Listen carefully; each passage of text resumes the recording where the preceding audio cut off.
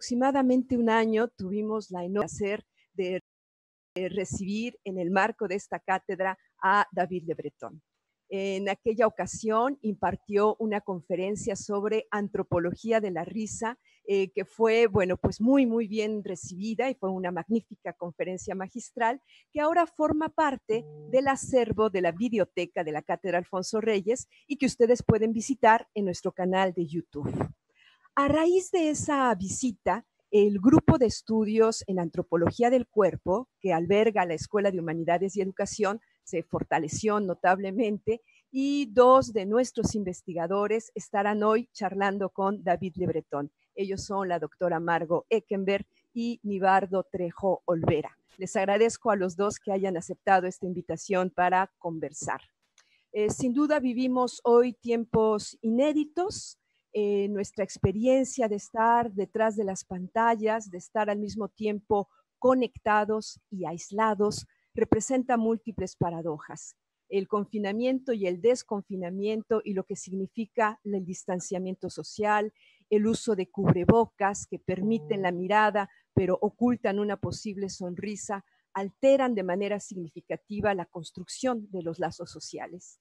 Y para esto, para hablarnos de los cuerpos confinados y desconfinados, de los cuerpos tras la pantalla, de los cuerpos cubiertos, de los nuevos ritos para saludarnos y despedirnos y de la forma en, lo que la que esto nos eh, reconstruyen como seres humanos, es que hemos invitado a uno de los máximos exponentes de la antropología del cuerpo, David Lebreton, a quien agradezco sinceramente y con mucho cariño nos haya aceptado la invitación.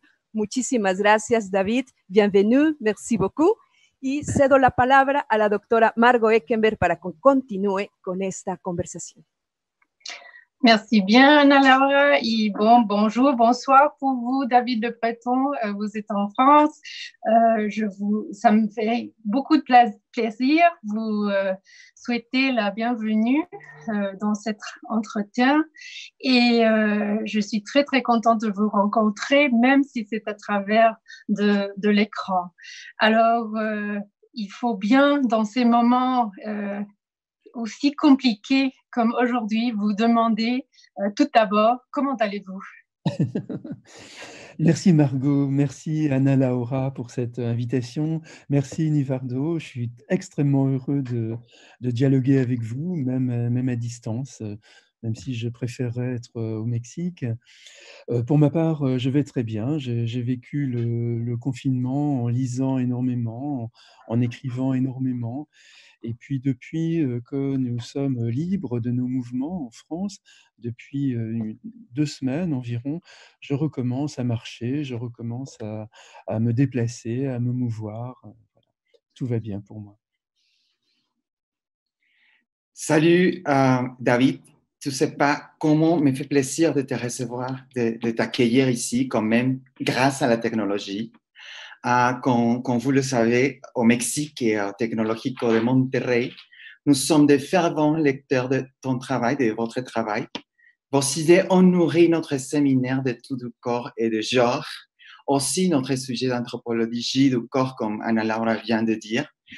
Mais euh, bon, je passe aux questions. Euh, comme tu sais, dans ces moments particuliers de crise sanitaire, de confinement, de déconfinement progressif, on entend fréquemment le voix des experts en épidémiologie, en santé.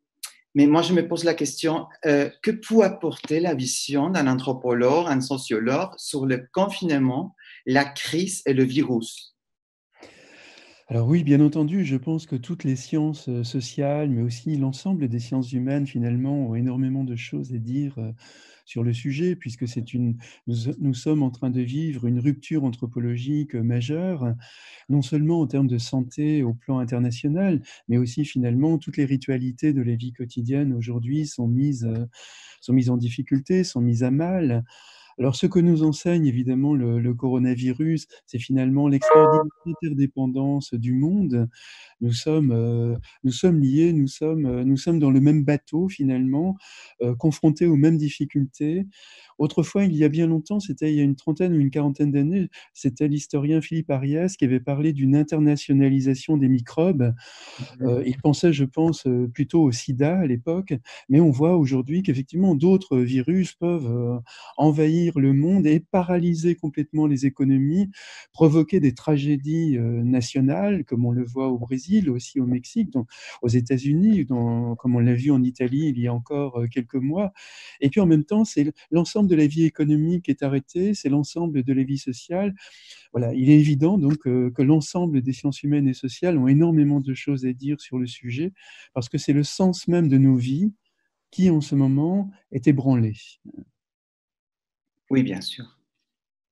Oui, absolument. Je crois qu'on est, on, est d'accord absolument avec vous. C'est intéressant. J'aimerais bien euh, aussi euh, remercier à, Nivardo. C'est très, euh, je suis heureuse de que ce soit une conversation entre les trois. Et l'autre jour, on, préparait cette conversation, cet entretien avec Nivardo. Et moi, je l'ai raconté que, le confinement, pendant le confinement, j'habite avec des, filles adolescentes. On, parlait un peu des, expériences et des, différences générationnelles. Et euh, sans doute, la crise sanitaire bouleverse euh, en profondeur nos, rythmes d'interaction. Euh, ça, on, le sait. Qu'est-ce que vous pensez? Quelles sont les nouvelles pratiques sociales qu'on peut attendre après le confinement? Et devrons-nous penser en, en particulier aux adolescents? Alors, ce qui est ébranlé, évidemment, c'est l'ensemble des rites d'interaction, effectivement. Nous, ne pouvons plus euh, accueillir euh, nos proches, ni en prendre congé avec, par exemple, une poignée de main, avec des accolades, avec euh, la bise, comme on dit en français. Il faut désormais maintenir une distance physique, c'est-à-dire se tenir donc éloigné de l'autre. Nous portons également un masque qui dissimule la moitié du visage. Et puis, donc, nous sommes privés également de, de, la possibilité de, de, se rapprocher de l'autre.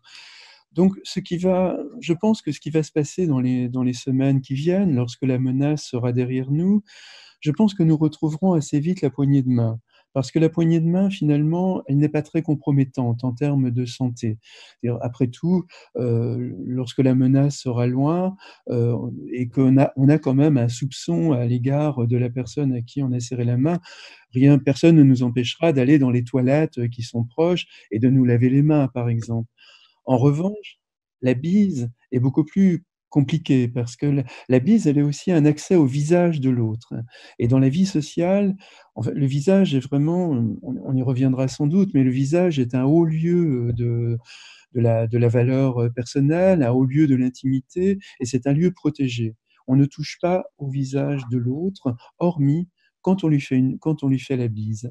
Et la bise, donc, est une forme d'intrusion dans l'intimité, et puis elle est beaucoup plus difficile à, effacer, entre guillemets, à en effacer les traces. Lorsque quelqu'un nous aura embrassé, je, doute qu'on puisse, qu'on aille se laver le visage, ce serait quand même entrer vraiment dans des formes de puritanisme, dans des formes d'hygiène sociale, et dans des formes de, de défiance à l'égard de l'autre qui sera assez contestable. Donc, on reviendra sans doute aussi sur, le, sur le, la bise, mais c'est vrai qu'elle elle, n'était pas euh, une ritualité très simple dans nos sociétés. En France, par exemple, vous avez des variations entre les différentes régions, c'est-à-dire on peut s'embrasser une fois, deux fois, trois fois ou quatre fois encore dans d'autres régions. On peut s'embrasser en touchant les lèvres, en touchant les joues de la personne mais on peut très bien aussi se tenir à distance, à 1 ou 2 cm. Quand on embrasse, on peut mettre ses mains sur l'épaule de la personne ou se tenir à distance. Vous voyez, il y a tout, il y a tout ces, il y a cette variation euh, finalement qui fait que très souvent la, bise au terme d'une relation, d'une rencontre, était un petit peu compliqué à mettre en mouvement. Souvent en France, on reste, on s'arrête au milieu parce qu'on a embrassé une fois ou deux fois la personne et puis on, on, s'en va et puis la, personne reste la joue tendue et dit ah chez, vous c'est trois, ah chez vous c'est quatre, etc. Bon, ce qui est une manière finalement très amusante aussi de, de, de nouer, de nouer un, un, geste de salut ou un geste de rencontre. Mais il y a aussi un autre problème euh, de la, de la bise dans la, dans la mixité, hein, puisque c'est très rare en France que des hommes se fassent la bise, hormis dans, des, dans, des, dans les milieux du théâtre, dans les milieux du show business, dans, des milieux un peu euh, artistes, entre guillemets, mais par exemple, jamais à l'université, deux hommes ne vont s'embrasser. Jamais dans les entreprises, deux hommes ne vont s'embrasser. En revanche, évidemment, c'est beaucoup plus courant que des femmes s'embrassent entre elles. Alors, ce qui était compliqué avant le confinement, déjà, c'était après, par exemple, avoir eu une relation amicale pendant une heure ou deux avec un collègue, la question que je vous pouvais me poser en tant qu'homme, c'est euh, est-ce que je vais l'embrasser pour prendre congé d'elle ou bien est-ce que je ne vais pas le faire? Si je l'embrasse, elle risque de me trouver un peu intrusif. Je rentre dans son intimité et finalement, elle peut être un peu agacée euh, de cela. Mais si je ne le fais pas, elle peut penser que peut-être j'ai trouvé que la relation n'avait pas été aussi chaleureuse qu'elle en avait l'air. Donc, très souvent, dans les relations mixtes, homme-femme, il y avait cette petite incertitude, cette petite indécision. Est-ce qu'on s'embrasse Est-ce qu'on ne s'embrasse pas? Et souvent, c'était un petit peu le fait de s'être un peu trop rapprochés l'un de l'autre qui faisait que finalement on s'embrassait, ou bien quelqu'un avait levé un petit peu la, main et donc on, on, tendait la main à son tour. Voilà. Donc, en France, par exemple, il y a eu un certain nombre de femmes qui se sont, euh, euh, qui ont pris la parole ces dernières semaines pour dire qu'elles étaient ravies que la bise disparaisse, parce qu'elles en ont marre d'être embrassées euh, dix fois par jour par tous les collègues masculins, par exemple, qui entrent dans leur bureau. Et elles trouvent qu'on n'a pas besoin de ça. On peut très bien échanger un sourire, on peut très bien échanger un peu comme les Asiatiques, une manière de, de, mettre les deux mains, de relier les deux mains, de, de, baisser un petit peu la tête, etc. Voilà. Donc je pense que la bise dans les, dans les mois qui viennent risque d'être un petit peu mise en difficulté. Euh. Je pense que le plus difficile aujourd'hui, euh, c'est quand même le masque. Parce que le masque, finalement, nous défigure. C'est-à-dire, il, euh, il, il, enlève notre figure, il, nous, il, abîme notre visage, puisqu'il ne reste de notre visage qu'un front et des yeux. Mmh C'est-à-dire que nous devenons méconnaissables, nous devenons anonymes, nous devenons uniformes.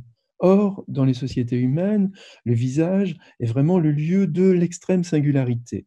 C'est le lieu qui nous distingue les uns les autres, même de nos frères, de nos sœurs, de nos parents, etc. Il y a cette infinitésimale différence donc, qui fait que nous sommes euh, profondément nous-mêmes. Le visage, donc, dans les, dans les relations sociales, c'est ce qui nous permet d'être nommés, d'être identifiés, d'être également associés à un sexe, à, un âge, à une qualité de séduction, voire à une couleur de peau, à une ethnicité, entre guillemets, mais là, aujourd'hui, quand on se promène, euh, par exemple, dans les rues de Strasbourg, on rencontre énormément de gens qui sont masqués et dont il est impossible de, de, donner, de, de savoir l'âge qu'ils ont, de savoir à la limite si ce sont des hommes ou des femmes.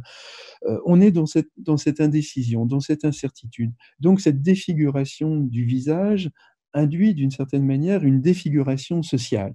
Il mmh faut, faut tout réinventer. En plus, le visage, évidemment, c'est le lieu de l'éthique. C'est le lieu fondamental de la reconnaissance de l'autre. Hein. Hein, c'est le lieu, finalement, le visage, c'est ce qui fait que euh, on, va, on va arrêter une colère, on va arrêter une agressivité, on va, on va arrêter une insulte parce qu'on est confronté au visage de quelqu'un et le visage de quelqu'un. Donc c'est le, le commencement de la morale, c'est le commencement de la reconnaissance, de la réciprocité, de l'empathie également. Et là, donc avec le masque, nous, nous ne pouvons plus véritablement euh, reconnaître l'autre. Il y a même le, le fait de masquer le visage, euh, je pense parfois, autorise aussi des incivilités hein, dans la mesure, euh, par exemple, où il n'y a pas, en, français, par exemple, on dit parfois euh, si je faisais cela, je ne pourrais plus jamais me regarder en face. Une manière de rappeler combien le visage, donc la face, est vraiment le lieu essentiel de la morale. Donc aujourd'hui, il n'y a plus de face, puisque nous sommes les uns et les autres masqués. Et à ce moment-là, évidemment, toutes les incivilités sont possibles. Les rapports de force redeviennent possibles, en plus euh, favorisés, bien entendu, par l'anonymat. Euh, Roger Caillois euh, disait, disait autrefois que dans nos sociétés, le masque, c'est ce qui reste du bandit, entre guillemets. Et effectivement, quand on sort souvent, on a, envie de faire cette blague quand on entre dans un magasin avec notre masque ou quand on entre dans un, train ou dans un bus, on se dit, mais tu vas attaquer une banque. Voilà, parce que effectivement, on est dans cette position d'anonymat, dans cette position de, transgression également, qui fait que soudain, euh, des actes sont possibles qui ne le seraient absolument pas dans, dans la vie courante, dans la réciprocité que donne le visage. Il y a aussi d'ailleurs en français une autre formule, euh, quand, des, quand, des, personnes commencent à, euh, à, à, s'insulter, commencent à entrer dans une forme d'agressivité, il y a parfois quelqu'un qui dit, viens, répète-moi cela en face, viens me le répéter en face.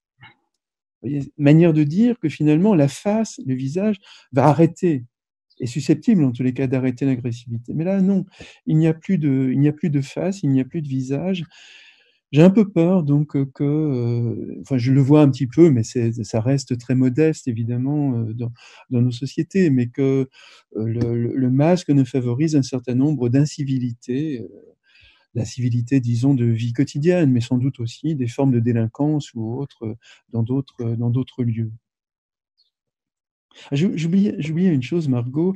Euh, le, Oui. visage est, le visage est aussi très important, bien entendu, dans la conversation, par exemple.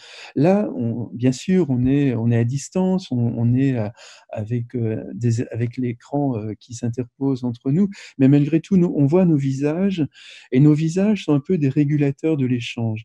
C'est-à-dire que quand je parle, par exemple, je peux voir sur ton visage, sur le visage de Anna Laura, de Nivardo, je peux voir comment mes propos résonnent. Et donc, je sais si je suis, je, mesure finalement nos accords ou nos désaccords, ou le fait que peut-être vous avez du mal à me comprendre parce que je ne me suis pas bien exprimé, ou au contraire, je, je vois sur votre visage que nous sommes profondément en, en, accord sur ce, ce qui est dit. Donc là, lorsque nous sommes masqués, nous perdons cette régulation possible de l'échange. Nous ne savons plus du tout ce que pense la personne est en face de nous. En France, on a entendu un certain nombre de neuroscientifiques nous expliquer très savamment que le front et les yeux étaient quand même suffisants. Pour moi, ça n'a aucun sens, évidemment. La, phénoménologie de la vie quotidienne nous montre combien le visage est une gestalt, combien le visage est une totalité.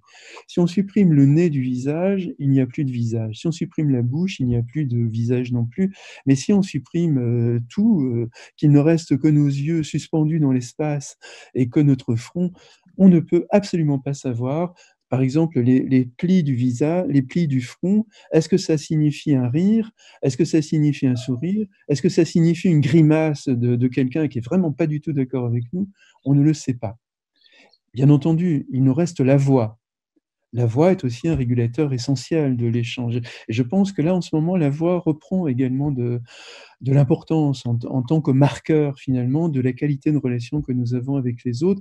C'est plus avec la voix de l'autre, avec les intonations de l'autre, que nous, que nous comprenons euh, comment nos propos sont, saisis par l'autre, comment, comment finalement la relation en ce moment se construit presque autant avec la voix qu'avec la, la coprésence. Oui, absolument. Non, c'est très intéressant. Je crois que il, faudrait bien en penser euh, tout à fait le, comment ça, les, interactions vont être très différentes. Et, et, et je vous demande, j'ai pensé aussi au carnaval. Euh, oui. très commun non dans, dans le, le, monde catholique. C'est le carnaval c'est le moment euh, où, où, dès qu'on peut euh, non c'est une, une, performance mais mais avec euh, avec avec euh, le masque en effet non. Alors c'est c'est il faut plus penser en ça. Et, et aussi j'ai pensé à, dans la, la, traduction. Donc ils n'ont il y avait un, une pétition pour pouvoir voir notre visage. Non, c'était pas assez seulement d'écouter notre voix pour faire la traduction. Alors c'est c'est en tout il y a, y a, vraiment c'est ce n'est pas seulement euh, euh, je crois qu'on on, on pense que c'est seulement dans certains moments qu'on a besoin de, nous voir, mais, mais pas du tout. Et la, la, manière que c'est tout euh, connecté, non, c'est très intéressant. Et je te laisse, Nivardo, à, faire à poser la question. Ah oui, bien sûr. Ah, c'est bien intéressant ce que vous, voulez, vous, vous, venez de dire parce que moi, je pensais aux différences entre les genres. Qu'est-ce qui s'est passé, qu'est-ce qui se passera dehors? Par exemple, les, différences entre les femmes et les hommes, parce que moi, je viens de lire un article ici au Mexique sur les hommes, la masculinité. Pourquoi les hommes désobéissent de, de porter la masque? Des fois, l'article disait que à, à, cause de la masculinité, les hommes euh, ne voulaient pas porter la masque. Non? Moi, je ne suis pas sûr de ça, mais quand même, me fait penser à est-ce qu'il y aura des différences entre porter la masque une femme, la porter la, la masque les hommes et les autres identités qui qui s'assument pas comme hommes ou femmes? Qu'est-ce que vous en pensez? Mmh alors d'abord, euh, je, fais un léger retour en arrière euh, pour euh, rebondir sur le propos de, Margot, parce qu'effectivement, le carnaval est très intéressant en la matière. Le carnaval, c'est l'univers de la transgression.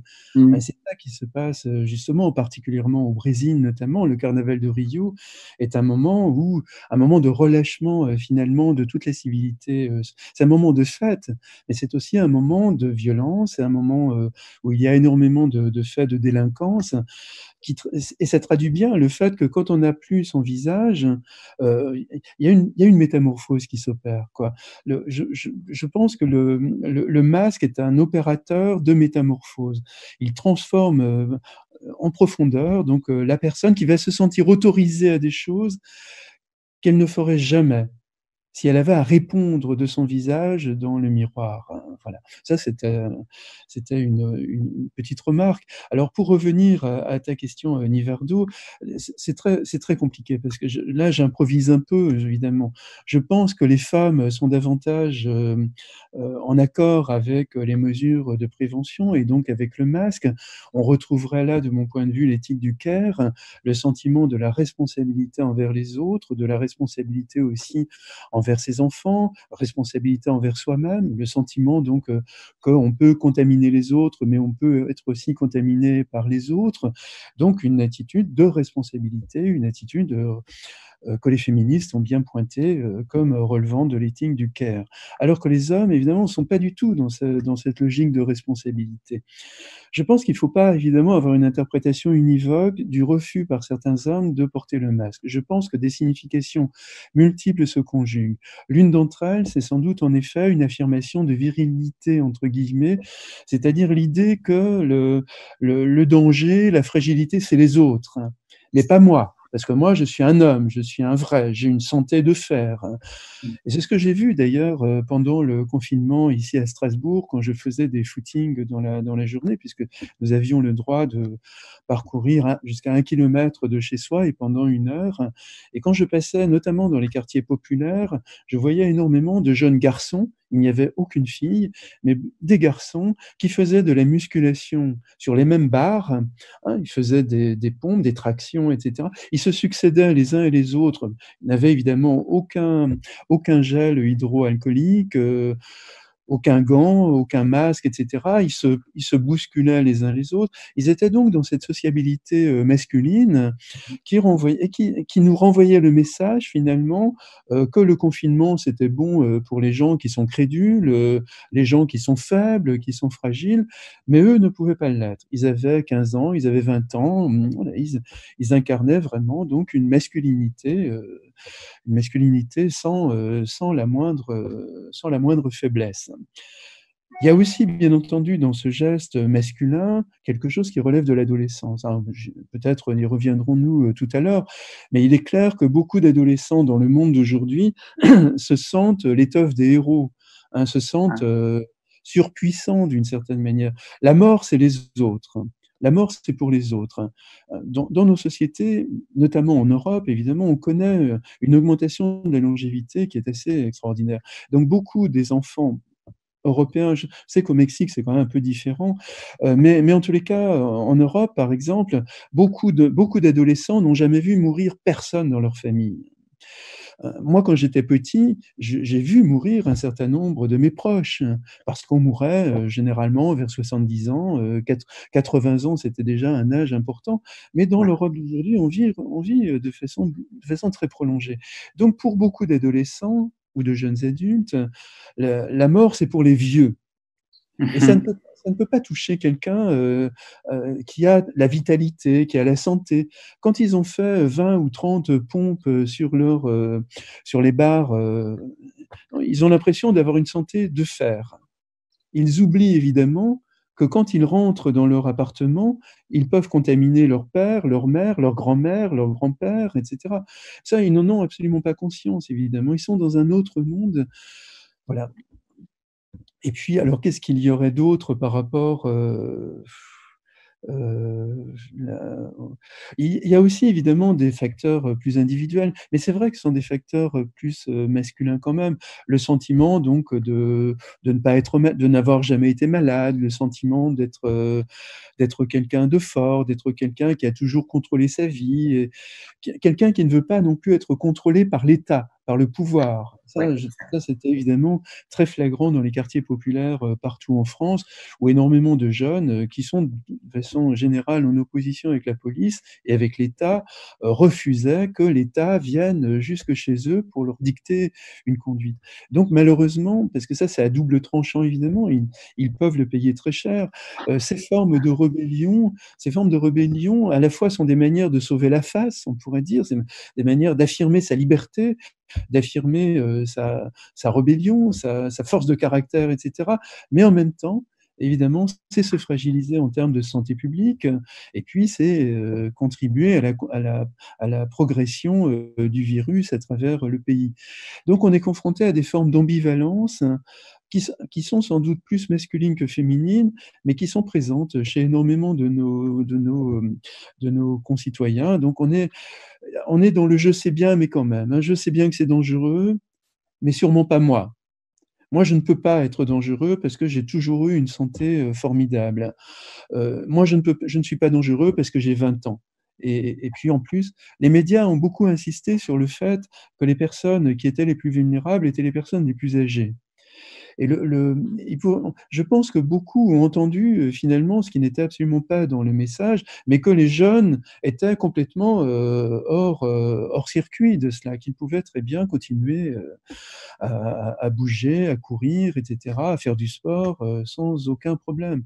Alors que non, ils pouvaient être des facteurs sains des, porteurs euh, sains, je veux dire, euh, ou, sains n'est peut-être pas la bonne formule, mais ils pouvaient être porteurs du virus sans, sans en porter aucun, aucun impact en termes de symptômes. Voilà. Et, donc, à la limite, ils étaient d'autant plus dangereux. Euh, avec, leur avec leur apparente bonne santé, voilà. Donc, voilà, je pense, et c'est aussi une donnée anthropologique hein, qui est énormément présente dans la, dans la condition humaine, c'est l'ambivalence. Hein. Le je sais bien, mais quand même ce, mélange de, des choses, cette, euh, ce que Max Weber appelait l'infinie complexité du monde, qui fait qu'on et puis que la psychanalyse d'ailleurs appelle aussi l'inconscient. Euh, il y a donc il y a toute cette part d'ombre, cette part nocturne euh, qui, qui, fait que notre rapport au monde est toujours n'est jamais simple. Il y a toujours d'innombrables significations, parfois des significations contradictoires, des méconnaissances également, des, ou alors des refus de des refus de connaissances, qui fait donc euh, qu'on est un peu en porte-à-faux avec les messages de prévention euh, qui ont été pourtant énormément euh, répétés pendant toute la période du confinement et encore aujourd'hui en France, où par exemple, où on entend tous les jours à maintes reprises les messages de prévention, portez un masque, maintenez-vous à un mètre les uns des autres, n'ayez aucun contact avec les, avec, avec les proches, même avec vos proches. Par exemple, il y a des spots à la télévision aujourd'hui euh, vous, savez que nous sommes dans le déconfinement depuis euh, deux semaines, donc il y a des grands-parents, par exemple, qui revoient leurs petits-enfants. Et on imagine qu'il y a énormément d'amour, il y a énormément d'émotions qui circulent. Donc on voit des, des spots euh, publicitaires qui nous disent attention, vous, avez, vous allez avoir énormément de, bonheur à vous retrouver, mais surtout, essayez de vous tenir à distance. Et on voit effectivement une, une, grand-mère qui porte un masque, on voit le petit-fils qui porte un masque, et puis on les voit qui se, ils sont à deux mètres l'un de l'autre, ils se font des pleins de signes de tendresse et d'amour, mais ils ne se touchent pas. Donc il y a ce rappel inlassable mais qui est aussi d'ailleurs un, rappel ambivalent. Attention, le corps est devenu le lieu de tous les dangers le contact corporel qui nous était si précieux en termes d'amour, en termes de tendresse ou en termes d'amitié, est devenu aujourd'hui euh, le, principal vecteur euh, du danger. Oui, intéressant, sans doute. Mais euh, d'un autre côté, David, moi, je voulais te poser une question par rapport à la technologie d'affichage. Oui. Comme vous savez, nous avons déplacé une grande partie de notre vie quotidienne vers les écrans. On, on, travaille avec, avec eux, avec les écrans. Mhm. On se communique à travers eux. On fait la fête à travers les écrans. Je trouve cela comme une sorte de disparaître de soi. Je suis pas sûr si, peut-être moi je me trompe, mais euh, et tout cela me, me, rappelle à votre texte de 1999, l'adieu au corps aussi mais publié au Mexique en 2006. Ma question est euh, de savoir comment cela va-t-il déterminer dans l'idée de l'individualisme contemporain et aussi dans la recherche de signification partagée, ça veut dire le sens de la collectivité? Ah bah, pour moi, la condition humaine, c'est une condition incarnée, évidemment. Nous sommes euh, physiquement présents au monde, nous sommes notre corps, nous n'avons pas un corps, notre corps n'est pas un objet qu'on puisse laisser euh, quelque part euh, ailleurs. Et effectivement, ce qui s'est passé pendant le confinement, euh, c'est la, dématérialisation des échanges. Donc nous sommes tous devenus un peu des espèces de hikikomori. Hein, J'ai souvent fait cette allusion à ces jeunes japonais qui sont enfermés chez eux dans leur chambre pendant euh, des mois, pendant des années, parfois pendant 3, 4 ans, 5 ans, euh, qui refusent de voir leurs parents, qui refusent de voir leurs amis, leurs frères, leurs sœurs, mais en revanche qui sont connectés avec le monde entier. Hein, ils sont à Tokyo, mais ils échangent avec des jeunes de Mexico, de Vancouver, de, de, Rio, etc. Mais dans une espèce d'aseptisation de la relation au monde, hein, dans une sorte de, de, puritanisme social. Ils refusent le corps, ils refusent le contact, ils refusent la présence de l'autre, et ils sont euh, donc des, adeptes d'une communication à distance. C'est ce qui nous est arrivé pendant euh, ces mois de, confinement, où nous avons euh, énormément cédé au télétravail, où nous avons fait des soutenances de mémoire ou des cours euh, à, distance, effectivement, donc en voyant simplement l'image de l'autre. Moi, je ne suis pas très à l'aise dans cet univers virtuel, évidemment. J'espère que dans les, semaines, dans les mois qui viennent, nous allons retrouver confiance dans le monde, aussi dans le corps des autres et que nous allons retrouver la conversation, hein, puisque pour ma part, j'oppose fondamentalement la conversation et la communication. Là, je dirais, on est dans une forme hybride. Là, tout de suite, euh, avec euh, Zoom, on est à la fois dans une forme de conversation, mais de communication, parce qu'il n'y a pas, on est à incroyablement à distance les uns des autres. Alors, ce que j'appelle conversation, c'est le fait d'être euh, côte à côte, d'être de visage à visage, de voix à voix, dans une mutuelle présence. Et on parle ensemble dans une espèce de flânerie. On ne sait pas très bien ce qu'on va dire, on ne sait pas très bien si notre conversation va s'arrêter euh, dans les minutes qui viennent ou si elle va durer pendant longtemps, mais on est extrêmement attentif au visage de l'autre. Hein. Il y a cette attention à l'autre, cette reconnaissance de l'autre. La communication, c'est le contraire il n'y a plus de visage. La voix également est modifiée, modifiée par les procédures technologiques. Euh, il n'y a, pas, il a plus la présence. Et puis, ce sont généralement des, des, relations beaucoup plus utilitaires, beaucoup plus fonctionnelles. Hein, il s'agit de, de, transmettre des messages. Il y a quelque chose de beaucoup plus généreux dans la conversation, de beaucoup plus humain, entre guillemets, aussi, dans la mesure où on ne sait jamais très bien ce qu'on va, va se dire. Voilà. Mais, bien entendu, le confinement a favorisé la communication, dans le Mmh. sens fonctionnel du terme, avec le recours au téléphone portable ou le recours à un certain nombre d'instruments euh, technologiques. Ce que j'espère, c'est que dans les, semaines, dans les mois qui viennent, nous retrouverons le bonheur d'une société du contact, d'une société euh, incarnée, euh, où nous sommes dans une mutuelle présence et dans une attention à l'autre, euh, sans, laquelle d'ailleurs il n'y a plus de lien social. hein. La, distance également favorise la distance, il n'y a, a, pas vraiment d'empathie, il n'y a pas vraiment de compassion, il n'y a pas vraiment d'identification à l'autre quand on est à distance comme ça. Je, je, pense en tous les cas. Il faut davantage être en présence de l'autre euh, pour que le, tout, une, tout, un tissu d'émotions, d'affectivité nous traverse. Hein. Donc, finalement aussi, cette période de, enfin, la, la, pandémie, bien entendu, et puis cette période de confinement a été une incroyable période de puritanisme social, hein, de mise à l'écart des autres, de, de, terreur devant le désir, parce que le désir, c'est ce qui échappe, c'est ce qui, ce qui fait que des inconnus euh, vont soudain entrer en, en, relation, entrer en contact, comme on dit d'ailleurs en français. Et là, euh, en permanence, on nous a dit, c'est dangereux, faut absolument pas toucher des gens que vous ne connaissez pas, n'entrez pas en contact avec des gens que vous ne connaissez pas. Le corps, donc, est devenu le lieu de toutes les menaces, le moindre contact, même le fait de parler et puis d'avoir de, de, des, des, des, maîtres, peut-être des postillons ou des, des, choses comme ça, peut devenir dangereux. Bon, voilà, ça, ça m'inquiète un petit peu d'une certaine manière parce que ça rejoint de manière à peine détournée le discours des transhumanistes hein, ouais. qui, justement, ne cessaient de nous dire que le corps est le lieu de tous les dangers, euh, que le corps est le lieu de la maladie, le lieu du vieillissement, le lieu de la, de la mort. Donc le, discours transhumaniste, c'est, si on le résume, supprimons le corps, nous supprimerons la maladie, nous supprimerons le vieillissement, nous deviendrons immortels, tout-puissants, etc. Alors on peut dire évidemment que l'émergence de la pandémie à une échelle mondiale a confirmé, les a confirmés dans, dans, le fait que le corps était le lieu de toutes les vulnérabilités, de toutes les fragilités. Évidemment, mais c'est parti, c'est en même temps inhérent à la condition humaine. Et, et le, la solution que proposent ces hommes, je dis ces hommes parce qu'il n'y a, a, quasiment aucune femme dans le transhumanisme, ce qui est aussi très révélateur de ces formes de puritanisme et de, de volonté de, de recherche d'une puissance, etc. Évidemment, ce n'est pas à travers le téléchargement de notre esprit sur le net ou sur un support matériel, comme le préconise un certain nombre de transhumanistes, ni non plus la cyborgisation du corps à travers d'innombrables prothèses qui seront des solutions. Là, on est dans un univers de fantasmes.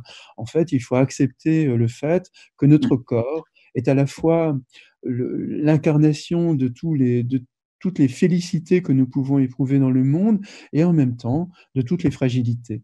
C'est en effet parce que nous sommes de chair que nous éprouvons du plaisir, mais que parfois nous éprouvons de la peine. C'est parce que nous sommes de chair que, par exemple, nous, pouvons goûter des plats lors, d'un repas, mais que peut-être parfois nous n'aimons pas forcément ce que nous mangeons ou ce que nous faisons. Je veux dire que le, corps est vraiment le lieu qui incarne la saveur du monde. Quand on n'a plus de corps, ou quand on met son corps en... quand on est finalement un petit peu comme des détenus. Bien sûr, nous, nous, nous, avons été incarcérés, entre guillemets, quand on a respecté en tous les cas le confinement, le terme incarcéré est très mauvais. Nous avons été euh, confinés dans notre maison, un peu à la manière de détenus dans leur prison à la différence quand même, bien entendu, qu'être confiné chez soi, ça nous procure un certain confort, ce qui n'est absolument pas le cas, évidemment, des détenus dans les prisons. Surtout, évidemment, dans bon nombre de pays. Le Mexique en fait partie, malheureusement. Mmh. Et puis, en plus, nous, nous, étions confinés, mais nous avions la possibilité de, de sortir un petit peu dehors, bon, moyennant un certain nombre de règles. Alors que là, euh, nous, voilà, nous, notre corps a été mis entre parenthèses pendant, euh, pendant euh, des mois.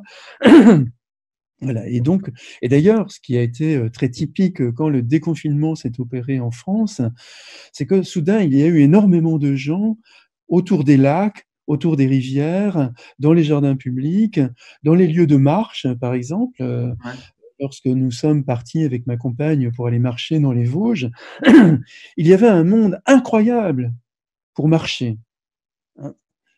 C'est-à-dire que ce qui s'est passé dans les, dans les, dans les, dans les, après le déconfinement, c'est rattraper le temps perdu et rattraper le temps perdu du corps finalement. Retrouver la jouissance de vivre retrouver la beauté du monde à travers les marches dans les forêts. Retrouver le silence on l'avait pendant le pendant le confinement puisqu'évidemment il y avait très très peu de circulation routière. Mais c'était retrouver le silence tel qu'on l'entend dans les forêts Hein, avec le chant des oiseaux, avec le vent dans les arbres, avec les torrents qui dévalent les pentes, etc. C'était aussi retrouver le contact, puisque mmh finalement, quand on marche dans la forêt, on a envie de toucher les arbres, on a envie de toucher les pierres, on a envie de plonger ses mains dans l'eau fraîche, etc. Voilà. Donc, énormément de nos contemporains ont retrouvé la jubilation d'être de chair. Pendant deux mois, nous avons vécu la, mise entre parenthèses de notre corps, de nos sensations, de, nos, de notre sensorialité, de tous les contacts que nous avons avec les autres ou avec le monde. Oui, c'est vrai, c'est vrai. Margot, tu as une question, moi je pense, parce que ça vient. Oui, je crois que ça, ça vient. Bon, J'aimerais bien vous euh, dire aussi que peut-être euh, après on peut, on peut parler un peu des, euh, de notre situation en Amérique latine, euh, surtout, euh, bon, nous, on, on, est au Mexique, alors on, voit que, bon, euh, ici, le, le confinement n'est pas obligatoire et, et, la précarité du travail, il fait que il y a beaucoup de monde qui n'ont pas vécu le confinement, ils ne le vivent pas plein. Alors, euh, peut-être on, on, peut le, le, le, parler dans un moment, mais avant, euh, donc, vous avez parlé du forêt, de la marche, et, et on avait une, une question et que je crois c'est on, on, on, est d'accord, c'est des paradoxes euh, qui sortent de la pandémie. Je crois que une des paradoxes est en fait euh, euh, dans le monde de, la nature, non les, les oiseaux euh, qui prennent des espaces euh, nouveaument, non qu'ils étaient interdits, euh, la diminution du pollutant, euh, la pollution en, en certains endroits. Qu'est-ce que vous, vous, vous, en pensez et, et avez-vous identifié aussi des autres paradoxes? Oui, c'est vrai que l'émergence du silence a été euh, formidable. Je me souviens encore de mon émotion les, premiers jours en, en voyant que on pouvait à nouveau entendre les oiseaux, on entendait les cris des enfants euh, dans les maisons à côté, euh, on entendait aussi le vent dans les arbres qui était présent euh, dans la ville, alors que d'habitude, euh, là où j'habite, j'entends plutôt le, passage des voitures assez régulièrement. Et ça a été pour, beaucoup de gens donc une découverte vraiment émerveillée de retrouver un monde apaisé, un monde calme, un monde tranquille, un monde où les chats prenaient à nouveau possession des rues. On voyait beaucoup de chats qui se promenaient. Et puis plus le temps passait, plus on voyait des oiseaux. Et puis on entendait les oiseaux aussi. Hein qui, se promenaient par. Il y avait un monde de, sécurité, de sécurité finalement pour le monde animal, et puis un monde d'apaisement pour le monde humain, euh, qui a été une, très belle découverte euh, pour moi. Euh, je, je, crois aussi qu'une autre découverte pour chacun de nous, ça a été ce que j'ai appelé le prix des choses sans prix, c'est-à-dire le fait que finalement, on l'avait oublié, mais le simple fait de sortir de sa maison quand on en a envie, rentrer chez soi à l'heure euh, qui nous convient, aller prendre un café euh, sur, à une terrasse, ou aller marcher dans la forêt, ou prendre le train euh, pour aller à Paris ou ailleurs, on le vivait dans une espèce de routine, dans une espèce d'évidence. Et soudain, nous avons été privés de façon radicale de ça. Parce qu'en France, l'économie s'est complètement arrêtée. Et il n'y avait plus aucun train, il n'y avait plus, plus moyen de, plus aucun restaurant, plus aucun café, tout était fermé, sauf euh, un certain, sauf les boutiques euh, de, pour euh, les boutiques d'alimentation, les grands magasins étaient encore ouverts. Voilà. On s'est rendu compte donc que finalement tout cela, toute cette vie, la vie, la vie d'avant, nous manquait terriblement. Elle était investie de valeurs que nous avions oubliées. Alors seul à deux prix, ce dont on peut être privé. Et nous avons été privés de liberté, au nom de la sécurité. Et nous avons retrouvé donc le prix de la liberté. Nous avons retrouvé l'importance également de notre liberté de mouvement partir à sa guise, rentrer à sa guise, etc. Je pense que pour euh, des, millions de gens, ça a été une très belle leçon finalement. Euh, que bien entendu, ça évoque un peu le memento mori euh, du Moyen Âge. Rappelle-toi que tu vas mourir. Mais là, évidemment, quand je prononce cette phrase-là, c'est une phrase un peu d'ailleurs comme le statut de la mort au Mexique. C'est un appel à la vie. Hein. c'est rappelle-toi que tu vis. Rappelle-toi qu'à tout moment, euh, une menace pèse sur toi parce que nous sommes des mortels, comme, euh, comme on dit. Donc il faut effectivement vivre chaque instant avec ferveur. Nous n'avons pas l'immortalité, nous avons cette fragilité, mais nous pouvons remplacer l'immortalité qui nous manque par la ferveur d'exister, par la, jouissance d'exister. Voilà. Et justement, maintenant, euh, depuis deux semaines que nous avons retrouvé davantage de liberté, eh bien, nous, c'est vrai que marcher est un bonheur infini. Se baigner, par exemple, aussi, ces, dernières, semaines, je me suis énormément baigné dans les lacs euh, en Alsace, en Lorraine, dans les Vosges. C'est formidable de se retrouver dans l'eau fraîche euh, et de se dire que pendant des mois, nous avons été privés de cela. Et puis, bien, on peut désormais, depuis quelques jours seulement, on peut aller dans les restaurants, on peut à nouveau prendre des cafés dans la ville. C'est vrai qu'en ce moment, à chaque fois que je prends un café euh, à Strasbourg, je suis bouleversé. En même temps, un peu triste parce que je vois autour de moi euh, plein de gens masqués euh, qui passent. Donc, c'est vrai que la ville a perdu une grande part de son agrément. Parce que l'agrément d'une ville, c'est évidemment de voir les visages, de voir les gens qui passent, et là, on ne voit plus que des masques passer. Mais en tous les cas, on est quand même assis à la terrasse d'un café et on peut voir le monde autour de soi, un monde qui, qui, recommence, un monde qui ne s'est pas, qui ne s'est pas interrompu complètement. C'est quand même une formidable leçon de vie. Et il faudrait évidemment que nous ne l'oublions jamais. Et ça, c'est ce que vous voulez dire, David, à, propos de, de, prix, de choses sans prix? Parce qu'on a trouvé, on a trouvé la publication que vous avez réalisée dans la revue de culture contemporaine. Et, vous disiez le prix des choses sans prix. Ça, c'est ce que vous voulez dire, non? C'est profiter de la vie qu'on a perdue. Oui, voilà. Oui, parce qu'on pourrait dire euh, sortir de chez soi, euh, prendre un café à une terrasse, tout ça c'est banal, mais on s'aperçoit tout d'un coup que ce sont des choses qui ont un prix infini, parce que quand elles nous manquent, c'est une bonne partie du, goût de vivre finalement euh, qui nous échappe aussi. Voilà, c'est ça, c'est ça qu'on oublie trop souvent. Moi, j'ai souvent le sentiment qu'il n'y a pas de détails dans la vie. Tout est important. Tout est un immense échafaudage. Et s'il nous manque une petite part de cet échafaudage, il manque quelque chose au monde il manque une présence, il manque une amitié, ou il manque une activité, ou il manque un paysage, il manque quelque chose en tous les cas qui fait que nous ne sommes pas dans la plénitude de la présence que nous avions avant. Et si je parle des choses du prix des choses sans prix, c'est parce qu'on oublie ça, voilà. Oui, euh, aussi même moi j'ai entendu euh, dire beaucoup de fois que ce virus-là a brisé le capitalisme, les, les, pratiques néolibérales. Mais moi, je me pose la question, vraiment, ça, ça se passe ou, pas? Deux fois, moi, je trouve aussi qu'on a réalisé qu'il y a des choses qu'on ne peut pas acheter. Quoi. Oui, c'est vrai. Mais est-ce que vraiment on va apprendre cette expérience? Bah, ce qui est fascinant, c'est que le coronavirus, effectivement, a brisé provisoirement euh, le, néolibéralisme dans son cynisme, dans, sa volonté d'expansion euh, totale, etc.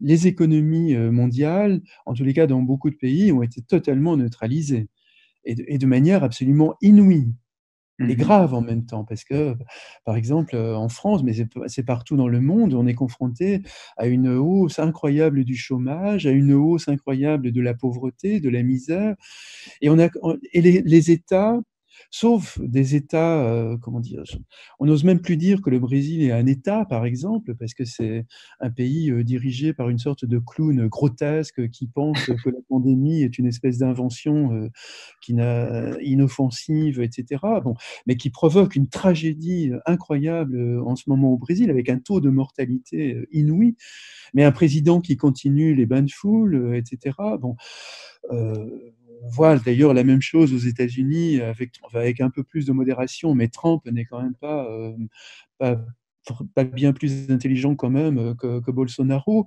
voilà, donc on, s'aperçoit que les, économies quasiment du monde entier, indépendamment des, hommes politiques et, du cynisme du capitalisme, ces économies donc ont été mises en échec en tous les cas pendant plusieurs mois.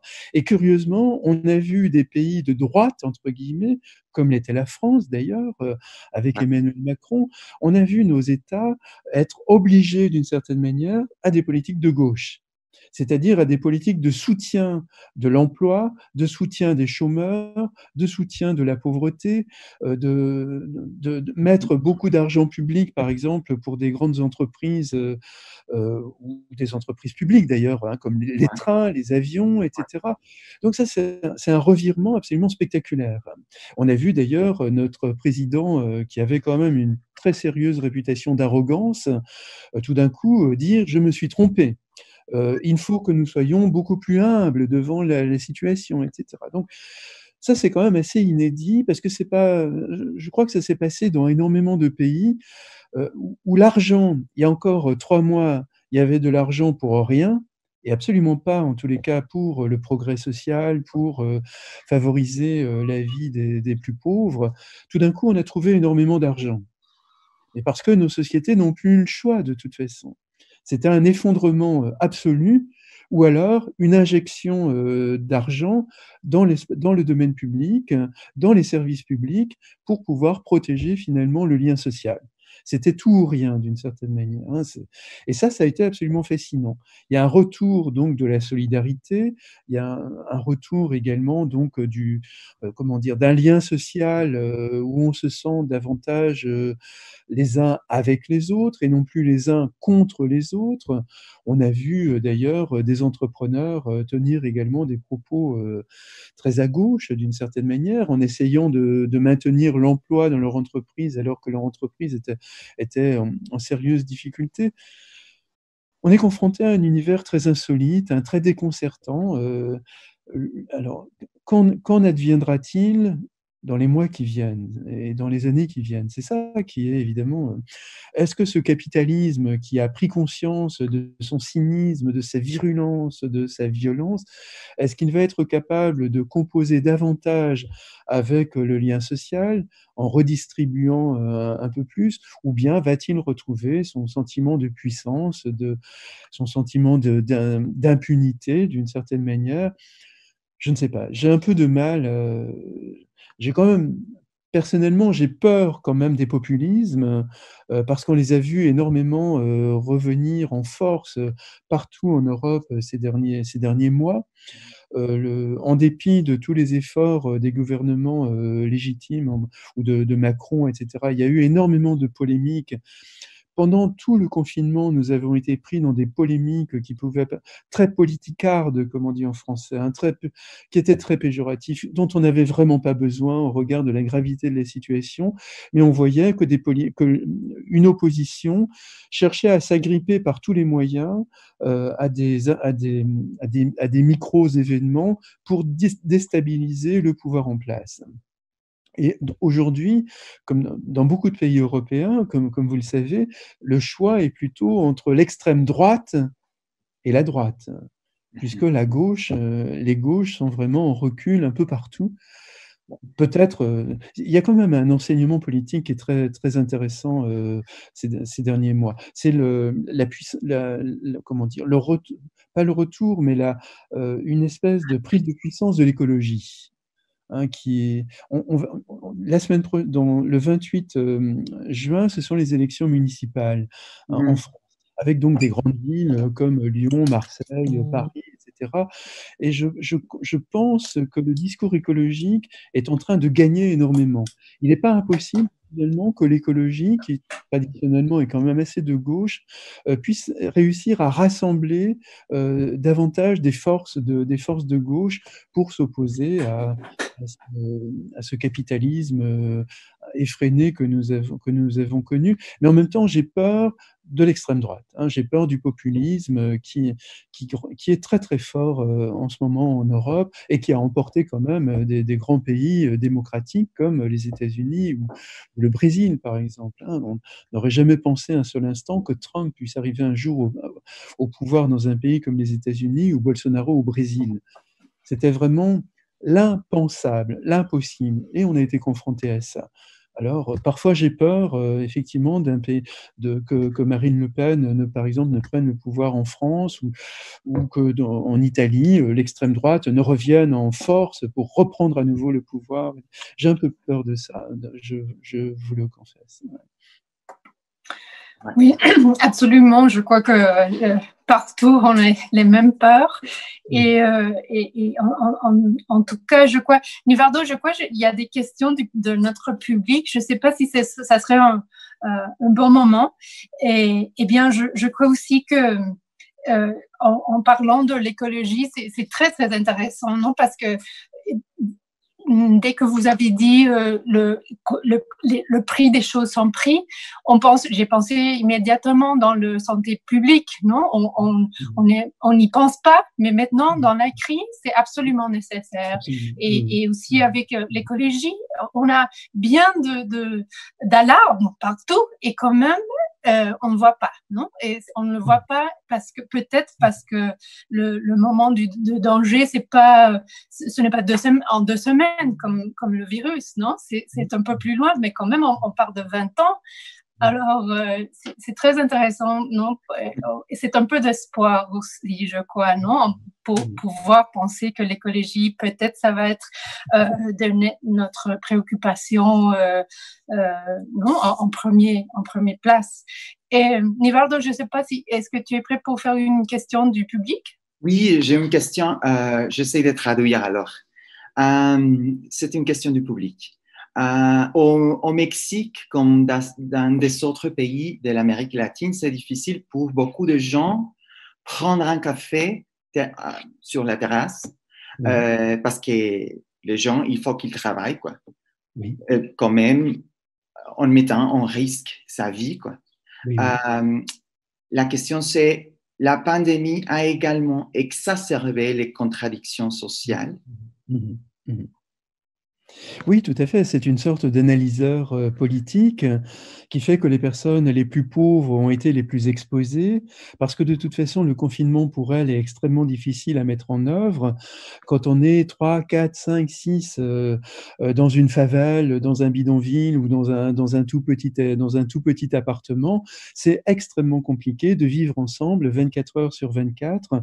C'est ce qui a amené aussi en France, hein, évidemment, énormément de, de jeunes de milieux populaires à passer leur journée dehors euh, parce que ça leur était absolument impossible de vivre dans la promiscuité, entre guillemets, de leur famille. Il y a eu aussi, d'ailleurs, énormément de violences conjugales, hein, énormément de violences sur les femmes pendant le temps du confinement en France. Il y a eu beaucoup de violences sur les enfants bien entendu. Et là, c'est un autre problème euh, social et politique, c'est que sans doute un certain nombre d'enfants ont été prisonniers de leurs prédateurs pendant deux mois, par exemple. Hein.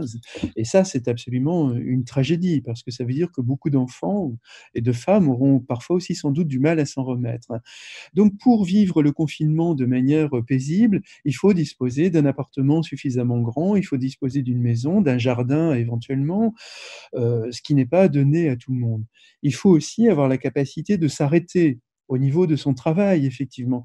Si, vous, si en arrêtant de travailler, vous mourrez de faim, euh, vous allez forcément continuer à travailler en essayant de prendre des précautions.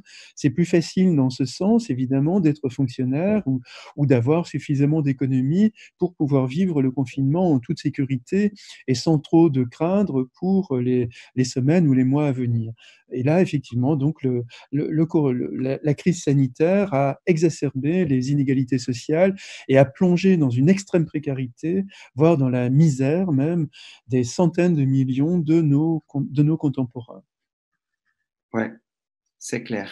Oui, bien sûr. Um, et Margot, tu as une autre question, toi? Sinon, moi, je continue quand même. Oui, oui, vas-y. Ah, David, euh, vous savez que on est en train de préparer un livre sur le rire. Et ces livres étaient, c'est inspiré à votre travail aussi. Et on a reçu plusieurs propositions qui explorent le rire comme résistance. Moi, je me demande si cette expression du corps jouera un rôle important dans la récupération de l'espace social et le contact avec l'autre. Est-ce, qu'est-ce que vous en pensez sur ça, sur euh, les manifestations du corps comme des résistances, quoi?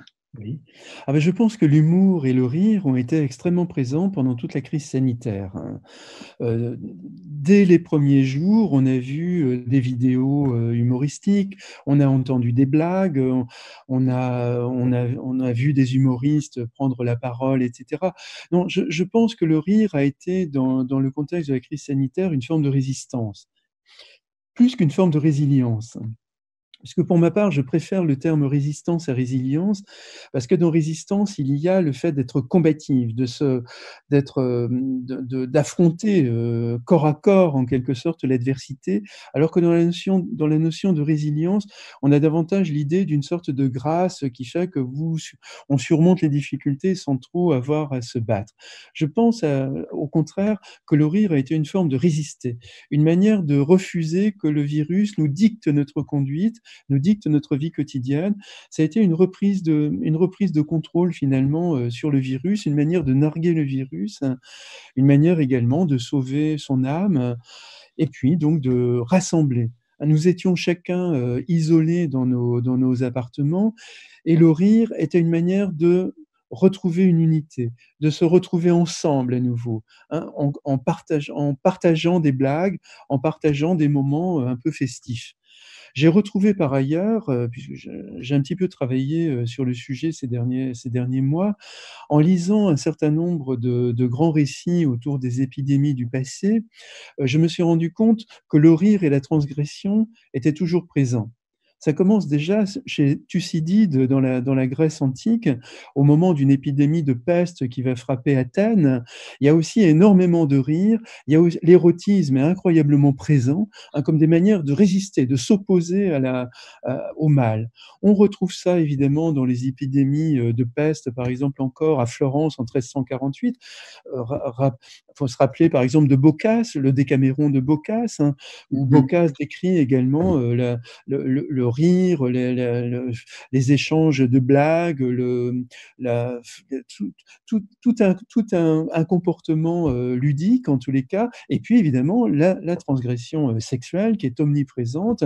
On va retrouver ça chez Daniel Defoe, on va retrouver ça chez Machiavel aussi. Hein. Le dernier texte de Machiavel avant sa mort, c'est encore la peste qui sévit à Florence, hein, on est au XVIe siècle, et Machiavel fait une promenade dans la ville et il, observe justement que des hommes sont en train de, de, danser, de, de, rire, etc., autour des cadavres. Et puis il va dans une église, et puis là, il, il entre en contact avec une femme, et un texte assez curieux d'ailleurs, parce qu'on voit Machiavel et cette femme qui, dialoguent, et finalement Machiavel va emmener cette femme chez lui, et vont vivre une relation amoureuse. Mais ça continue, même l'épidémie du choléra par exemple, le choléra c'est plutôt le 19e, on voit également énormément de formes, là c'est l'émergence de la caricature avec Daumier par exemple, mais il y a aussi énormément de blagues qui s'échangent comme si finalement, dans la condition humaine, le rire était toujours cette ultime manière de, redresser la barre, hein, de reprendre le contrôle d'une situation qui nous échappe complètement. Donc le rire a vraiment été, même dans le contexte de la crise sanitaire, une forme de résistance, une manière de ne pas se laisser faire, une manière de continuer à, garder sa vie en main. Et puis en même temps, de laisser partir les tensions, hein, le stress, l'inquiétude le rire nous permettait de retrouver un apaisement intérieur. Si on est capable de rire euh, de, du, corona, alors c'est qu'il n'est pas si euh, virulent que cela. Quoi. oui, c'est intéressant, le rire comme résistance. Ouais. Marc, tu as, une autre question quoi? J'aimerais bien dire aussi que, que en vous écoutant euh, parler de résistance et de résilience, la différence, je crois qu'il y a une autre idée relationnée qui est euh, très proche de vos idées, que c'est et c'est euh, le, le résilient, c'est l'individualité, non? C'est toi qu'il faut être résilient. Mmh. Mais par rapport à euh, la résistance, on pense en plural, non? On pense en, en euh, peut-être euh, non? Entre tout, on peut être plus résistant. résistant. Alors, j'ai beaucoup, j'ai pensé en ça pendant que vous vous, vous, expliquiez ça, et peut-être vous pouvez nous dire un peu, parler un peu du relation entre les, les affaires, les, les émotions et le rire, par exemple, le peur, le peur est très présent, mais, mais aussi il y a une relation avec le rire et, et aussi la, euh, le visage, bien sûr, non? Euh, Comment est-ce qu'on pourrait, comment, en pensant dans le déconfinement, je pense au Mexique, par exemple, c'est une grande ville. Euh, déjà avant la pandémie, on se regardez pas aux yeux, non, dans la rue. C'était, c'est pas commun, non? Euh, c'est, ça part un peu, je crois, de lien social qui est déjà un peu euh, rompu quand même. Et c'est probable que maintenant ça va être encore pire. Euh, qu'est-ce que vous, vous pensez? Oh, beaucoup de choses. Effectivement, dans la notion de résistance, il y a quelque chose de, partagé, quelque chose de commun, mais c'est en même temps la notion d'acteur qui me. Je, pense que dans, euh, par évoquer la résistance au lieu de la résilience, c'est mettre l'accent sur l'acteur, sur le fait qu'on se bat contre l'adversité. Dans la résilience, on traverse effectivement de façon individuelle, un peu comme une forme euh, sans, trop d'efforts. Euh, on est protégé d'une certaine manière évidemment, il faut. Je sais qu'il y a un certain nombre d'auteurs euh, qui intègrent dans la notion de résilience aussi des formes de combativité autres. Mais j'aime bien quand même distinguer ces deux mots et donc mettre l'accent sur le fait qu'on a affaire à des acteurs et des acteurs en effet qui partagent un combat dans la notion de résistance. Mmh. Alors après, la notion du, ce, que tu évoques, c'est finalement euh, la, dissolution de ce qui est un élément clé du lien social, c'est-à-dire la confiance. Et on connaît les très beaux textes de Georges Simmel, par exemple, qui mettaient l'accent sur la nécessité de la confiance pour le lien social. Il faut en permanence faire confiance aux autres, ne serait-ce que quand on entre dans un bus, on fait confiance au, au chauffeur de bus, euh, on fait confiance à l'automobiliste pour qu'il s'arrête au feu rouge et nous laisse passer en tant que piéton, etc. En fait, finalement, l'écoulement de la vie quotidienne, c'est un immense enchevêtrement de confiance qu'on se fait mutuellement pour ne pas, euh, pour ne pas se mettre en danger les uns les autres, pour se respecter également les uns les autres. Et la crise sanitaire est venue ébranler radicalement cette confiance ontologique dans l'autre. Elle a rompu euh, cette sécurité aussi ontologique qu'on éprouvait envers le monde. On en arrive à considérer euh, nos, les, proches, enfin, à considérer nos voisins ou les, les personnes qu'on croise dans la rue comme des menaces potentielles. Et donc, on s'en écarte. Et on voit effectivement, euh, même dans nos sociétés qui respectent davantage le, confinement, parfois le, le, confinement est respecté de manière obsessionnelle.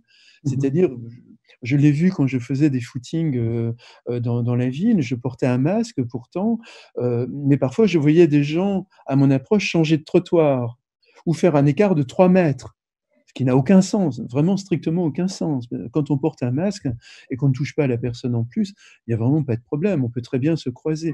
Mais il y a des gens qui étaient dans cette espèce de, de paranoïa, d'une certaine manière, et on pourrait dire que la crise sanitaire a créé une sorte de paranoïa ordinaire de méfiance en l'autre. Attention, euh, cette personne euh, que je croise dans le magasin est peut-être euh, contaminée, il faut que je, me tienne à distance, etc. Ça, c'est quand même très troublant dans l'histoire de nos sociétés où généralement, donc, la confiance était en, principe au cœur des relations sociales.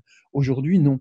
Il risque d'y avoir des séquelles aussi dans les, dans les mois qui viennent où l'autre est plutôt une menace potentielle tant qu'on ne l'a pas apprivoisé. Mais ça va rendre le lien social beaucoup plus compliqué, effectivement. Et en plus, si on porte des masques, là, c'est terrible, parce que finalement, c'est aussi... Quand on, quand on ne connaît pas quelqu'un, par exemple, et, que mmh cette personne s'approche de vous, euh, vous êtes, je ne sais pas, dans une librairie, une bibliothèque ou dans, dans un café et autre, et quelqu'un s'approche, vous regardez son visage et vous voyez sur son visage qu'elle vient vers vous parce que peut-être c'est quelqu'un qui ne vous a pas vu depuis. vous reconnaissez soudain un ami, une amie, ou, bien c'est quelqu'un qui veut vous demander un renseignement, et donc vous ouvrez vous-même votre visage. Mais là, vous voyez un masque qui s'approche de vous. Vous ne savez absolument pas qui est cette personne, qu'est-ce qu'elle vous veut. Donc, je crains qu'on ne soit un peu en état d'alerte plutôt que dans cette position d'accueil, euh, cette position de reconnaissance finalement du monde environnant. Donc Axel Honneth, par exemple, le, philosophe, allemand, avait pointé euh, que la, reconnaissance, la crise de la reconnaissance, elle, était devenue l'un des problèmes majeurs de nos sociétés occidentales, hein, où on se sent de moins en moins reconnu et où on est tous en quête éperdue d'une reconnaissance par les autres. Et bien là, il est clair que le masque ne va pas contribuer à la reconnaissance. Et puis en plus, tout le fait que euh, le, lien social a été énormément ébranlé par euh, la pandémie et par le fait que chacun de nous devenait à son insu euh, une source potentielle ou éventuelle de danger par rapport aux autres. C'est vrai, ouais. Intéressant. On a une autre, une autre question du public. Si vous me permettez, moi, j'essaie de traduire.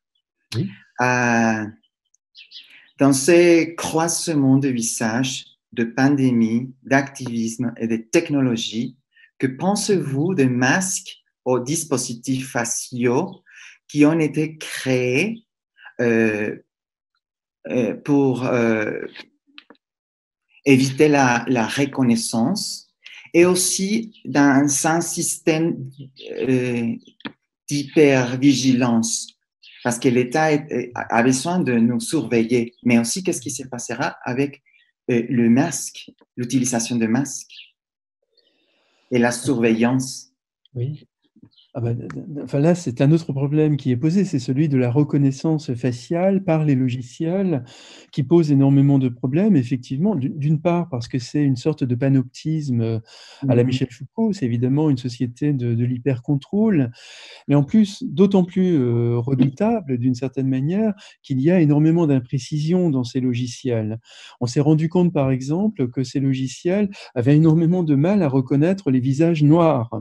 C'est-à-dire vous êtes, il y a des confusion qui fait qu'on va, on risque d'arrêter des personnes innocentes, on risque d'arrêter des personnes par délit de faciès, on pourrait dire là, c'est vraiment le délit de faciès, euh, comme on le mhm. nomme en France, hein, quand, quand, des personnes sont arrêtées à cause de la couleur de leur peau ou de leur, euh, de leur appartenance ethnique, entre guillemets. Je pense que la, les logiciels de reconnaissance faciale, puisqu'ils ne fonctionnent pas à 100%, euh, mais plutôt à, entre 70 et 80, 90% Ça veut dire qu'on peut à tout moment être pris pour la personne qu'on n'est pas. Vous allez, vous voulez franchir une frontière, et puis on va vous prendre pour un terroriste parce que vous êtes fiché quelque part, vous avez un visage qui ressemble un peu euh, au terroriste ou à un criminel recherché, etc. Et ça, c'est absolument évidemment terrible, tragique. Et puis en plus, ça crée ces confusions euh, avec les personnes. Finalement, les logiciels de reconnaissance du visage sont faits pour des blancs, euh, des blancs de classe moyenne, voilà. Mais ça fonctionne pas pour l'ensemble de la planète. Et au contraire, ça peut créer beaucoup plus de problèmes, au-delà du fait, évidemment, de la société de contrôle. Euh, pour le non, je ne sais plus si j'ai répondu vraiment à la question. merci David, merci. Um, Margot, tu as une question, toi? Bon, je, crois que euh, aussi, c'est aussi, euh, il y a le mariage du contrôle et du capitalisme aussi, non? C'est une autre question, mais je ne vais pas vous demander ça.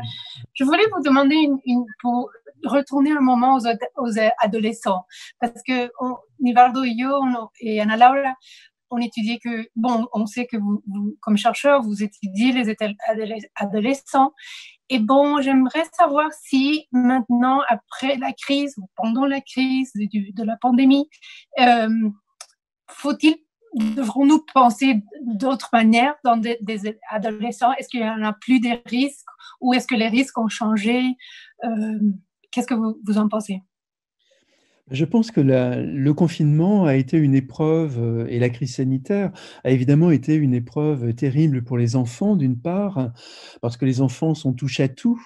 Hein. les enfants euh, sont énormément tactiles, ils courent vers vous, ils vous embrassent, ils vous cajolent, ils prennent des objets euh, partout, ils les jettent, etc.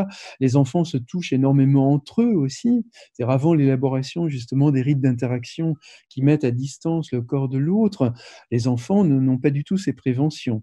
Au contraire, ils sont plutôt dans le corps à corps. Donc c'était particulièrement compliqué pour les enfants euh, de, ne plus avoir, de ne plus pouvoir toucher euh, leurs petits copains, de ne plus pouvoir toucher leurs grands-parents ou leurs parents, etc. D'autant plus à l'école. Quand on a repris l'école euh, en France il y, a, deux semaines, on, a, on a donc on a imposé aux enfants qui se tiennent à distance, des tout petits, des enfants de la maternelle, 5 ans, 6 ans, 7 ans, on, leur, on, les a, on les a empêchés de se toucher les uns les autres, on les a mis à un les uns des autres, on leur a imposé de se laver les mains sans arrêt. C'est un apprentissage évidemment terrifiant finalement pour un enfant. C'est apprendre, apprendre la méfiance envers euh, les autres, la méfiance même envers les personnes qu'ils aiment le mais dont on leur dit qu'ils peuvent être euh, contaminants. Euh, j'ai peur parfois que ça ne laisse des traces de mémoire chez ces, chez ces enfants qui ont pris de plein fouet toutes ces injonctions du, refus du contact. Du côté des adolescents, c'était plutôt euh, le fait de, ne plus pouvoir voir euh, leur père, PAIRS, hein, leurs copains, euh, leurs copines, et se retrouver coincés d'ailleurs avec leurs parents ce qui n'est pas facile, évidemment, quand on est un adolescent et qu'on commençait à prendre son envol, on commençait à, vivre les premiers moments de son autonomie, euh, et tout d'un coup, il faut vivre ensemble euh, pendant 24 euh, heures sur 24, les uns sur les autres, comme on dit d'ailleurs en français, dans une expression assez curieuse, ce qui faisait que les, enfants étaient les parents et les enfants ont été très souvent en conflit. D'ailleurs, pendant cette période, parce qu'évidemment, les loisirs des enfants n'étaient pas du tout ceux des parents, et puis la, comment dire, le, le rapport au son des enfants n'est pas celui des parents. Les parents sont plutôt davantage dans le silence, les enfants étaient plutôt davantage dans la volonté d'écouter de la musique ou de se chamailler entre eux, euh, entre frères et sœurs, etc. Parce qu'il y avait cette frustration de ne pas pouvoir se dépenser dehors, donc il fallait se dépenser dedans. Mais se dépenser dedans, ça impose évidemment des problèmes de coexistence. Et, si le père ou la mère était en télétravail et devait écouter les enfants euh, crier derrière ou, ou écouter la télévision derrière, c'était quand même pas très très facile. Donc pour les adolescents, ça a été une période sans doute extrêmement compliquée. Alors beaucoup ont été dans la transgression, c'est-à-dire ils, euh, sortaient en dépit des interdictions, ils se retrouvaient en bas des immeubles et ils retrouvaient leurs copains ou leurs copines. Dans les foyers, c'est-à-dire des enfants donc, qui sont coupés de leur famille euh, et qui mmh ont qui ont, à cause de maltraitance, euh, à cause d'inceste, etc. On sait qu'il y a eu énormément de fugues. Hein. beaucoup de ces adolescents enfermés et, de toute façon euh, sans famille d'une certaine manière, beaucoup de ces enfants ont fugué. Souvent, ils fuguaient pour revenir le jour même ou revenir deux ou trois jours après, comme une sorte d'affirmation de leur liberté. Vous voyez, ce n'est pas vous qui me forcez à rester là, c'est moi qui décide puisque je suis revenu. Et on rencontre ça parfois d'ailleurs chez des, chez des adolescents qui ont des, des, problèmes de santé euh, graves et qui sont contraints à un suivi médical permanent, par exemple. Hein. Il y a souvent un moment, au moment de l'adolescence, où l'enfant refuse des soins. Et ce sont des soins vitaux. Il risque d'en mourir. Mais c'est sa manière de réaffirmer sa liberté, de dire à ses parents et aux médecins, bien sûr, je suis dépendant de vous, je suis dépendant des médicaments, mais c'est moi qui décide ma dépendance. Parce que vous voyez, j'ai arrêté de prendre tous mes médicaments pendant, euh, pendant deux ou trois jours. Et donc, je pense qu'on a beaucoup d'adolescents ont été dans cette nécessité intérieure d'affirmer leur liberté par rapport à leurs parents ou par rapport euh, à leurs éducateurs, euh, par exemple. Je voudrais aussi faire une observation qui m'a vraiment troublé pendant la période du confinement quand je marchais dans les rues de Strasbourg. J'étais sidéré de voir le nombre de petites ampoules de gaz techniquement, je ne pourrais pas vous expliquer comment ça fonctionne, mais ce sont mmh. des, petites ampoules qu'on achète dans le commerce et qui permettent de, faire, par exemple, de la crème chantilly. Mmh. Il, y a, du il y a un gaz dans ces ampoules que les jeunes, ont, euh, que les jeunes peuvent injecter dans un ballon et puis, et puis euh, renifler. Mmh. C'est ce qu'on appelle en France le gaz hilarant.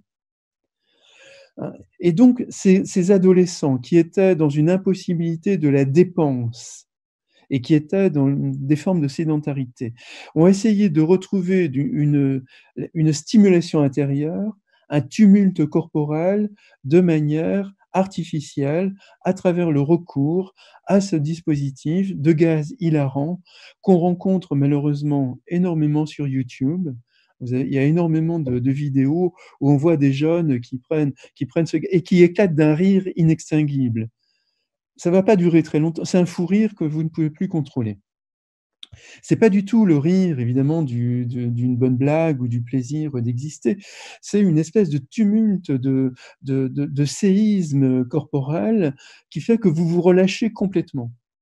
Et puis après, ça s'arrête. Et évidemment, le, ça dure pendant quelques minutes. Mais après, vous pouvez retrouver vos parents ou même vous pouvez retourner à l'école comme si de rien n'était, comme s'il ne s'était rien passé. Contrairement, par exemple, à l'alcoolisation qui va laisser des traces pendant des heures, contrairement à des prises de drogue qui vont laisser des, traces pendant des heures, le, le, gaz hilarant ne laisse pas de traces. Et si j'en parle euh, tout de suite euh, dans le contexte de la crise sanitaire, c'est que quand je marchais dans les rues, je trouvais énormément de ces ampoules de, gaz. Et ce matin, avec ma compagne, nous sommes allés euh, courir autour d'un lac et nous baigner. Et à quelques mètres dans, une eau extraordinairement claire et à quelques mètres de, la berge, on a trouvé à nouveau euh, ces capsules, euh, ces petites ampoules, etc. Oui, là, là, on retrouve aussi des formes un peu tragiques de, de l'adolescence, cette nécessité donc de non pas non plus d'exister, mais de se sentir exister. Hein, de sentir exister. Donc il faut percuter le corps, euh, et c'est ça qu'on retrouve évidemment en permanence dans les conduites à risque. Ce sont les scarifications, c'est l'alcoolisation, la, ce sont les différentes formes de toxicomanie, c'est la recherche de la violence également, de, de l'agressivité, mais c'est aussi euh, d'autres, d'autres, c'est la vitesse sur les routes par exemple, de beaucoup d'adolescents sur des, sur des motos, sur des mobilettes ou même en voiture. C'est se faire percuter par le monde pour se sentir vivant, pour se sentir réel, pour se sentir exister. Et pendant le confinement, donc, énormément de nos adolescents ont sans doute recouru à ces moyens chimiques pour essayer de se sentir à nouveau vivants. Parce que le fait d'être immobilisé leur donnait, leur donnait le sentiment que leur existence leur échappait complètement, leur donnait un sentiment de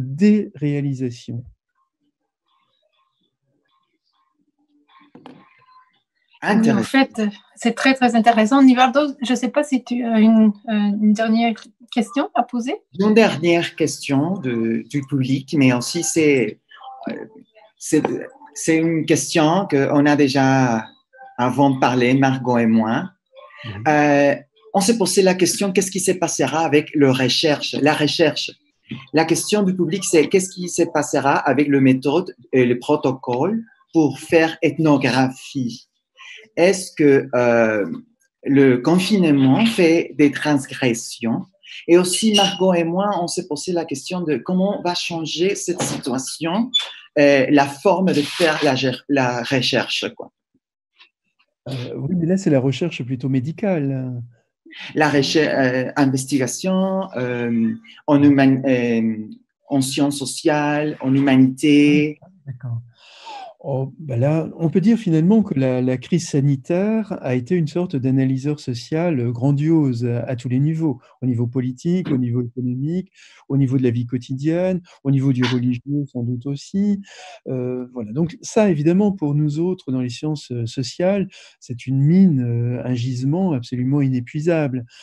Également, le confinement a été une sorte d'expérimentation sociale à une échelle planétaire, hein, puisque de très grands pays comme la Chine, euh, etc., ont développé quand même un, confinement obligatoire, euh, quasiment. Et puis d'autres pays, évidemment, euh, le confinement a été extrêmement relâché ou même a été purement volontaire.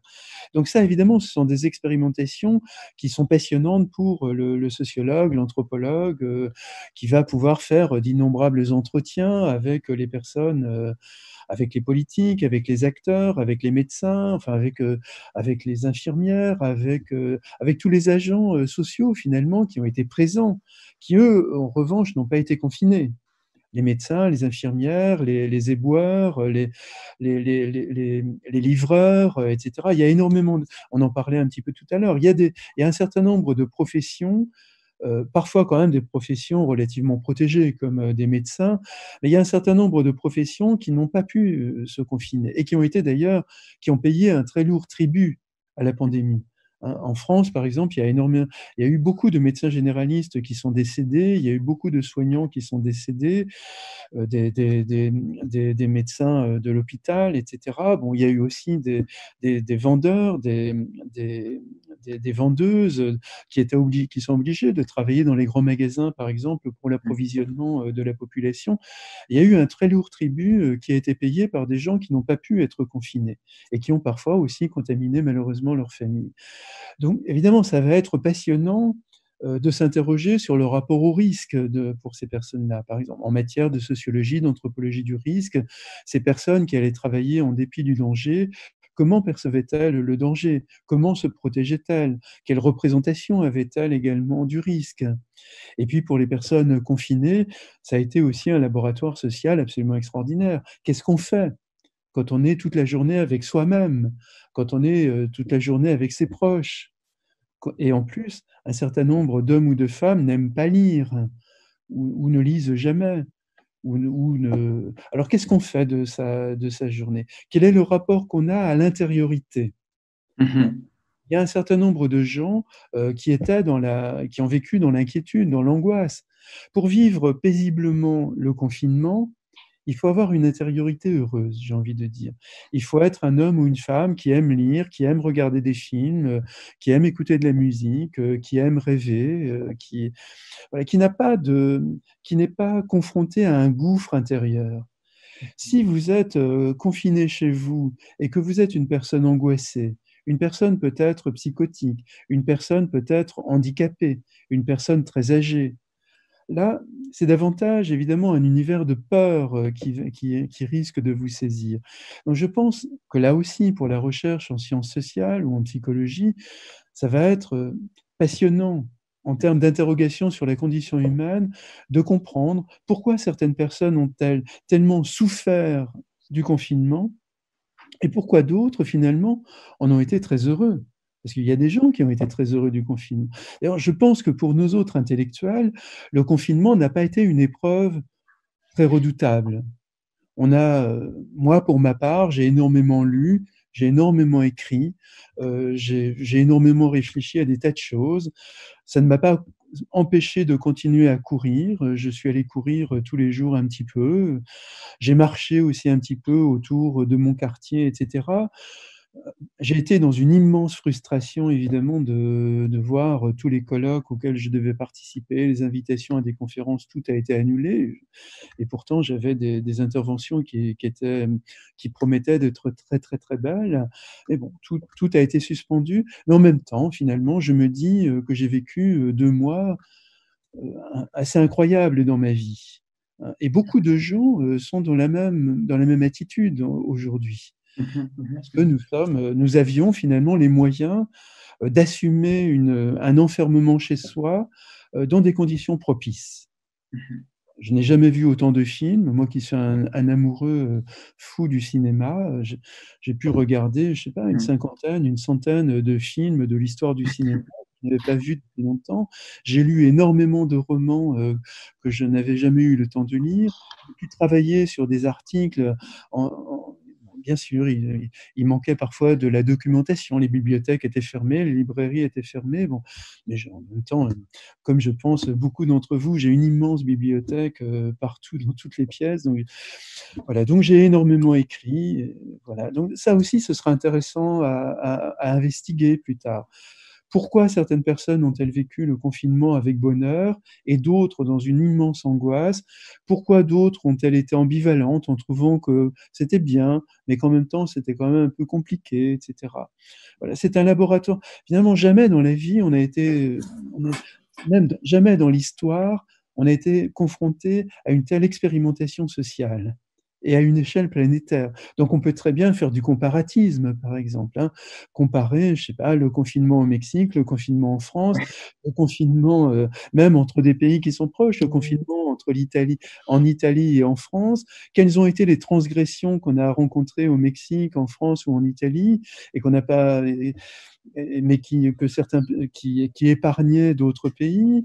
Euh, Est-ce que les gens ont été d'accord euh, de se confiner ou, ou, au contraire ont énormément protesté? Est-ce qu'il y a eu des polémiques euh, à l'encontre du confinement, par exemple, ou, aucune polémique? Est-ce que tout le monde a accepté? Pourquoi certaines personnes ont radicalement refusé le moindre confinement? Moi, je pense qu'on n'a pas fini d'en parler. Pendant certainement des décennies, la, la, la crise sanitaire et le confinement va faire l'objet de milliers, de milliers, de milliers de recherches à travers le monde. Et on, a du travail, on a du pain sur la planche. Hein. Oui. absolument, oui. ici au Mexique, euh, le déconfinement, il commence pas encore. Alors, euh, ça, c'est déjà un, moment de, de, comparaison. Mais il me reste euh, seulement vous remercier votre temps, vos idées. David Le Breton, merci bien et j'espère bien vous souhaiter la bienvenue en personne ici au Mexique euh, prochainement. Oui, moi aussi, j'espère. Merci Margot, merci Anna Laura, merci Nivardo, merci Manuel aussi, merci, merci à tous. J'étais très très ému de partager ce moment avec vous et j'espère qu'on se retrouvera euh, en chair et en os très bientôt avec toute mon amitié, toute ma reconnaissance. on n'a pas, on pas, fini de parler, mais le temps est fini maintenant. Eh, has, has, recibido, David, muchos saludos de toda América Latina, de personas que nos han seguido desde Perú, Colombia, Brasil, Argentina, a quienes saludamos también con mucho gusto. Eh, gracias por estas luces que nos han ayudado a, repensarnos quiénes somos, cómo somos y sobre todo cómo nos reinventaremos desde nuevas formas de contacto, desde el placer, desde la presencia, desde el cuerpo. Y esperamos tenerte por acá de manera presente y escucharte en México muy pronto. Quiero agradecer de manera muy especial a la traductora Brigitte Domache, quien ha hecho un espléndido trabajo y te esperamos por acá para darte un abrazo de todo corazón. Gracias, David. Merci, Ana Laura. À bientôt.